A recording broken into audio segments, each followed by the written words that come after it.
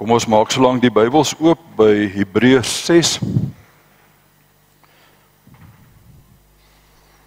Hebreërs 6, ons gaan daar van vers 13 af gaan ons 'n paar verse saam lees.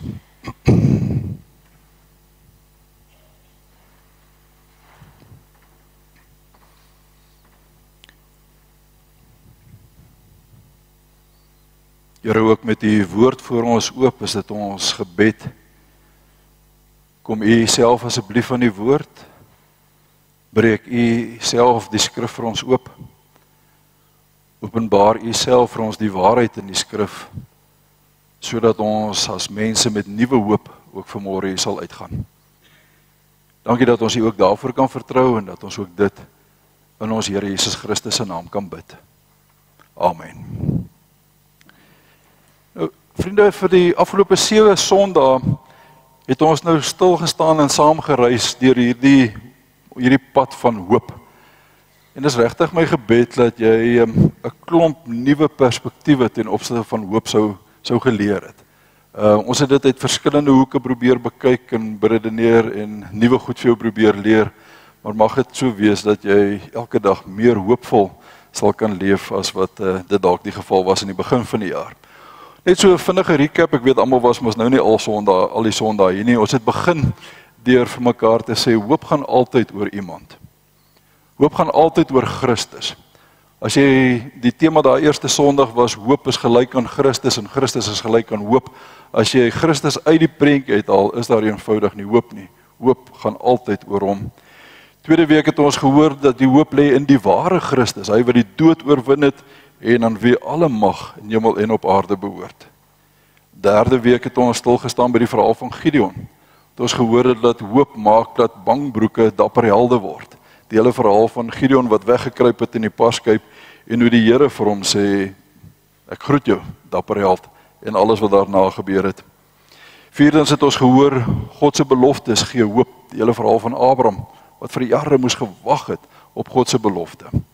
En omdat hy nie die hoop laat vaar het nie, het die Here ook vir hom gegee deur geloof waarvoor hy gewag het. Hoop 4 5dens gee vir ons hoop of die gedagte om te bly fokus in moeilike tye op hoop. Daardie ongelooflike verhaal van klaagliedere wat sê elke oggend is die liefde van die Here vars en nuut. Daarom gisterand was daar nog trane maar vanmôre lag ek weer om te bly fokus in uh, moeilike tye op hoop. Toe het ons gehoor hoop is 'n werklikheid, selfs in swaar kry tye. Die hele gedagte uit 1 Petrus 3 wat ek vertel het hoe swaar daai gelowiges gekry, maar in hulle was daar 'n lewende hoop. En verlede week het Pieter die laaste ene gedoen om te sê hoop is ook 'n proses. 'n Proses wat vertrou moet word van die oester na die parel. Ehm uh, daai hele proses wat oor tyd plaasvind maar uit moeilike omstandighede kom daar dikwels ook iets moois of altyd iets moois.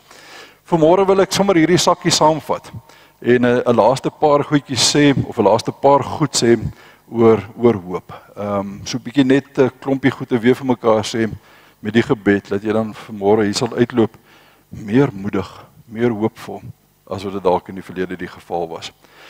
Ons gaan net Hebreërs 6 daarvan vers 13 lees, maar net voor ek dit lees, hoor net die woorde uit Job 8 uit. Ek uh, wil dit sommer net so bylees. Job 8 vers 13 sê: "So gaan dit met hulle wat vir God vergeet. Daar is geen hoop vir die goddelose nie. Hulle vertrou op 'n dun draadjie. Hulle maak op 'n spinnerak staat. As hy teen sy huis leun, val dit om. Hy gryp daarna maar dit bly nie staan nie. So gaan dit met hulle wat God vergeet. Daar is geen hoop vir die goddelose nie. Daarteenoor, hoor wat sê Hebreërs vir ons. Ons lees daar van vers 13 af. Toe God aan Abraham die belofte gemaak het, het hy niemand groter as hy self gehad by wie hy met 'n eed kon bevestig nie. Daarom het hy dit met 'n eed by homself bevestig en gesê: Ek sal jou beslis ryklik seën en jou 'n baie groot nageslag gee. En so het Abraham dan nadat hy geduldig gewag het gekry wat aan hom beloof is. Mense lê 'n eed af by iemand groter as hulle self, want vir hulle is dit dan 'n bevestiging van 'n saak en dit sluit alle teespraak uit. En omdat God aan die erfgename van die belofte bo alle twyfel wou verseker dat sy besluit onveranderlik is, het hy dit met 'n eed gewaarborg. Die twee onveranderlike dinge, die belofte en die eed, waarborg dat God sy woord gestand sal doen.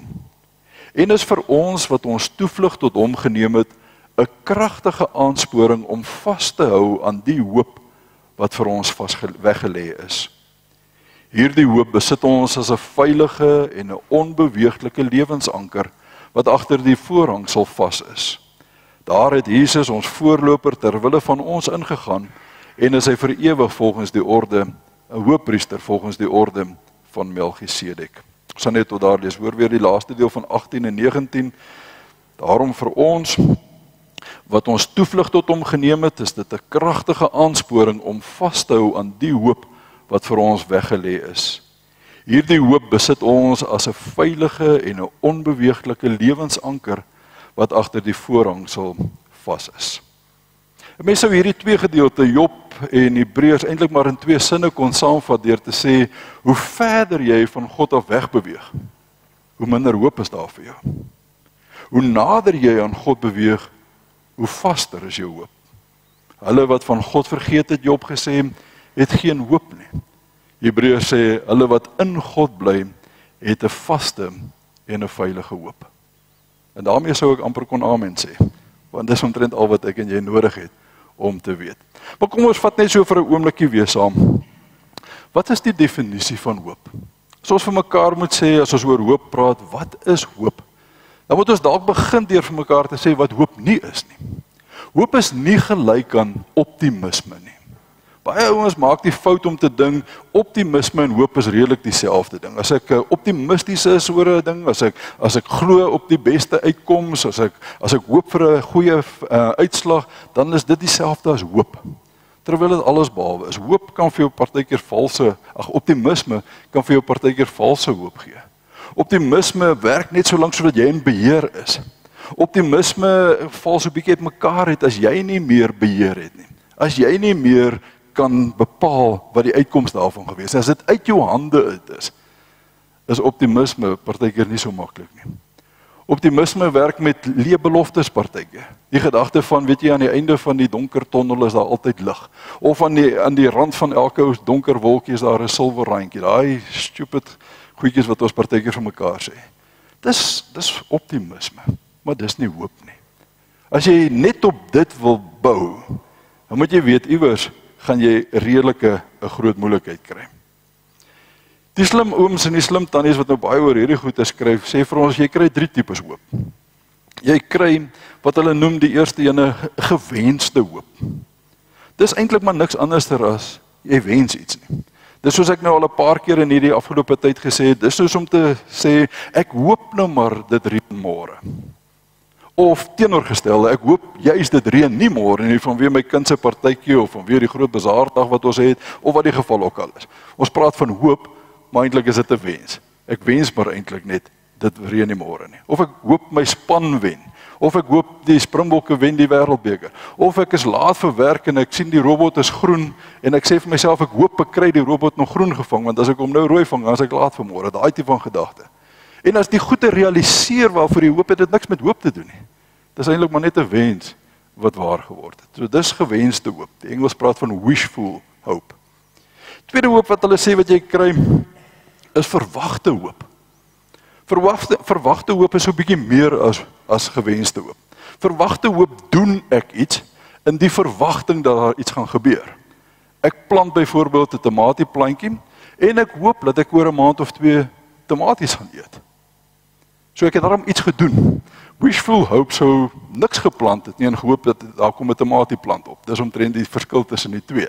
Uh maar maar verwagte hoop het ek er om iets gedoen. Ek het iets gedoen en nou hoop ek dat daar iets gebeur, maar weer eens. Jy weet mos nou self, die ou plantjie kan doodgaan, wurmpies kan hom opeet, dit kan 'n dat wees wat geen vrugte dra nie. So ook dit is nie regtig hoop nie. Dis 'n verwagting wat ek het. En dan sê die slim ouens vir ons, is daar 'n derde hoop. Die Bybelse hoop.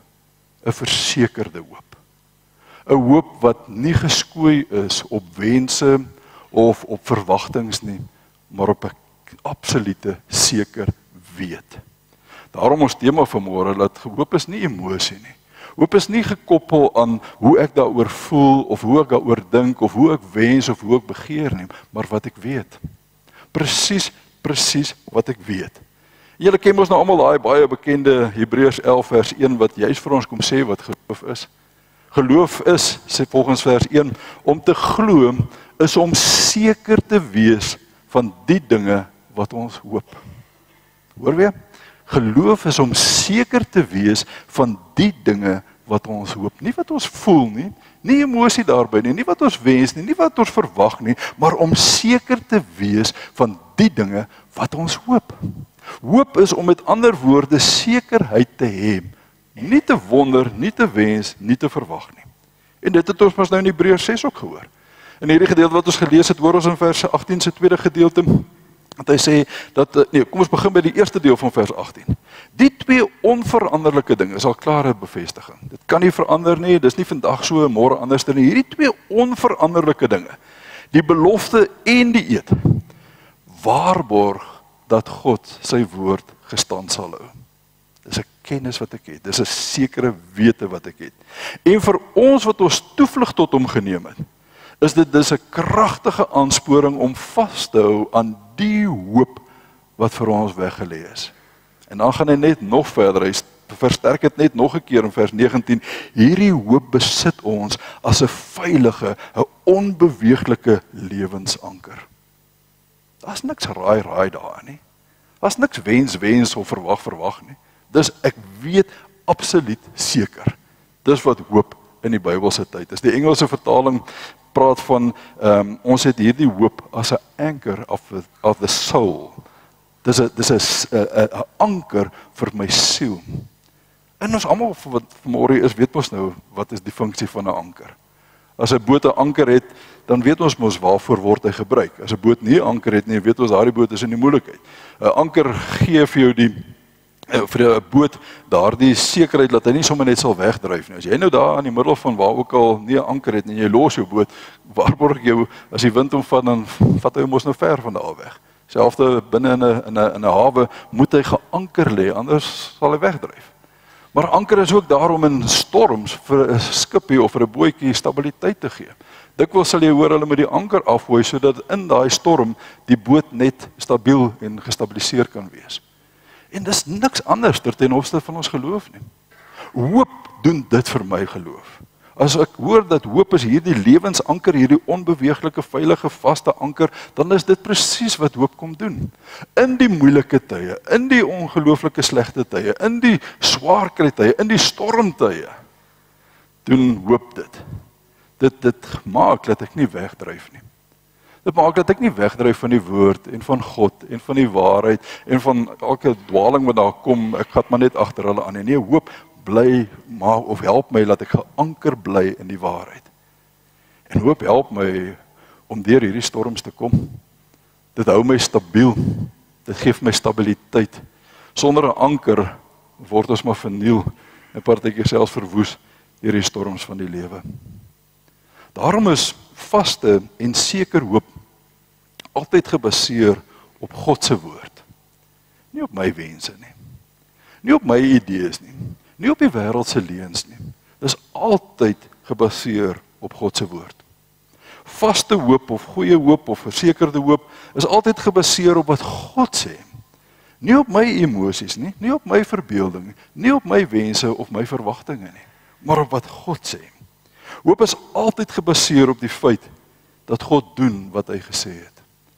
Het ons dit nie in hierdie gedeelte nou gehoor in Hebreërs 6 nie, dat ons hoor hierdie twee onveranderlike dinge. Hy het 'n eed by homself afgelê. Dis 'n waarborg vir my en vir jou dat daar niks daaraan kan verander nie. God kan nie ontrou aan sy woord wees nie. Dit wat hy beloof het, dit sal hy ook doen. Daarom het ons die verhaal van Abraham gehoor. Omdat Abraham geglo het, het hy vasgehou aan die belofte wat die Here aan hom gedoen het en die Here het vir hom beloon met daardie belofte wat hy aan hom gemaak het.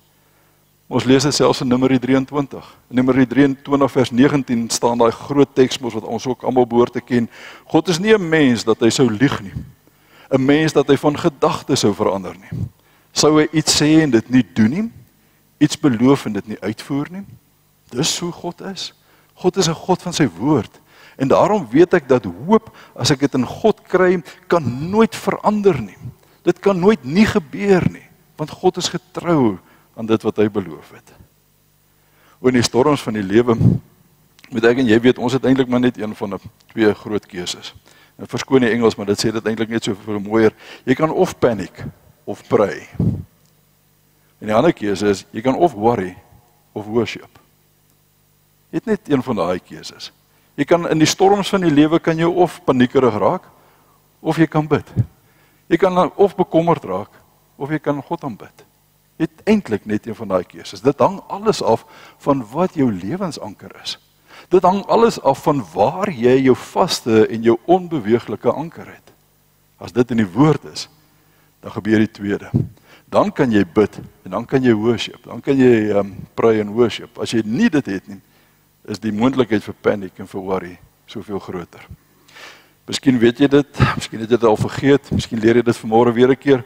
Jy geweet daar is 7000 beloftes in die Bybel wat die Here aan ons maak.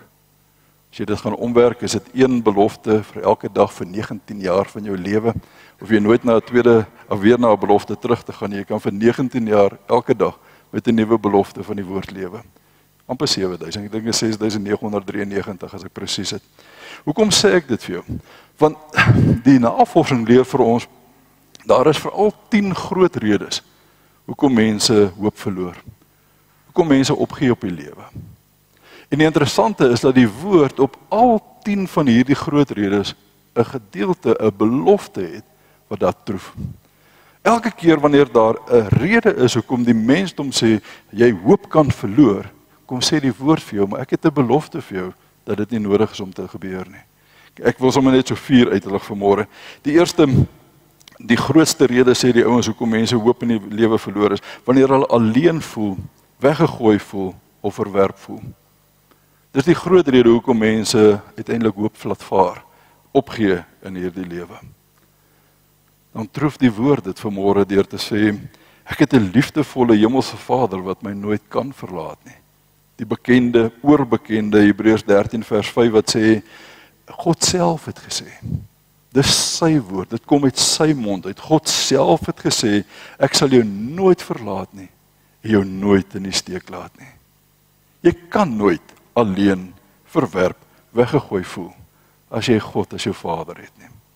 Twee, wanneer dit vir jou voel alles is buite beheer. Jy het geen beheer meer oor die dinge wat in jou lewe gebeur nie. Gebeur dit nogals dat mense hoop opgee. Job 12 vers 10 sê vir ons, hy het al wat lewe in sy mag, die asem van elke mens. Daarby sluit Jeremia 32 vers 27 aan om te sê ek is die Here die God van alle mense is iets vir my onmoontlik. Ek hoor dit baie duidelik dat niks buite God se beheer kan plaasvind nie. Daarom in die oomblikke wanneer ek voel dinge word vir my buite beheer, dan hou ek aan God vas. Hy het die lewe van al wat lewe in sy mag, elke asem van elke mens. 3 Wanneer vrees hou vas op jou lewe kry. Wanneer as ware lam gelê word deur vrees, dan gee ouens nogals hoop op en uh op die lewe ook op. Daar troef jo, jo, Josua 1 vers 9 ons. Weerens is dit die Here self van die woord wat vir Josua sê, ek self gee vir jou die opdrag: wees sterk, wees vasberade, moenie skrik nie, moenie bang wees nie, want ek die Here jou God is by jou oral waar jy gaan. Ek het die absolute sekerheid dat wanneer daar dinge op my pad kom wat vir my bang maak, wat vrees by my inboesem, dat die Here sê jy hoef nie bang te wees nie, jy hoef nie te skrik nie want ek die Here jou God is by jou oral waar jy gaan. En vir as dit lyk of jy besig is om te verloor. Jy het dit dalk al gesien, deesdae sien ek dit gereeld met my eie rugby span die Bulle. As jy begin verloor en jy kom agter hierdie ouens glo nie meer hulle kan wen nie. As nie 'n manier dat hulle weer kan wen nie, dan begin die liggaamstaal dit wys. Die koppe begin sak, die skouers begin hang. Die manne loop na die lyn staan toe hulle hardloop nie meer nie. Daar's nie meer daai daai daai opgewondenheid by hulle nie. Want hulle het hulle besef of hulle besef hulle is besig om te verloor. In die lewe gebeur dit dikwels dat jy op 'n punt kom wat jy voel ek wen nie meer nie. Ek is besig om te verloor. Wat sê Paulus vir ons in Romeine 8 vers 37? Hy noem 'n klomp goed op. Hy sê lyding, benoudheid, gevaar, honger, swaard. En noem hy 'n klompie goeters nog verder op en dan kom hy en dan sê hy, maar in al hierdie dinge is ons meer as oorwinnaars deur hom wat vir ons liefhet. En dan gaan hy weer aan. Dan sê hy nie dood of lewe of engele of magte of toekomstige of toekomstige dinge of hoogte of diepte of of kragte of enigiets anders in die skepping kan ons van die liefde van God skei. Jy's daai oomblik wat ek voel ek is besig om te verloor, troef die woord. Sê maar jy's meer as 'n oorwinnaar. Die enigste keer wat daardie term in die Bybel gebruik word, jy's meer as 'n oorwinnaar. O geliefdes, wil jy nie vanmôre dit maar net weer 'n keer duidelik en helder hoor as ek hierdie hierdie reeksie probeer saamvat nie. Ek en jy het 'n vaste hoop.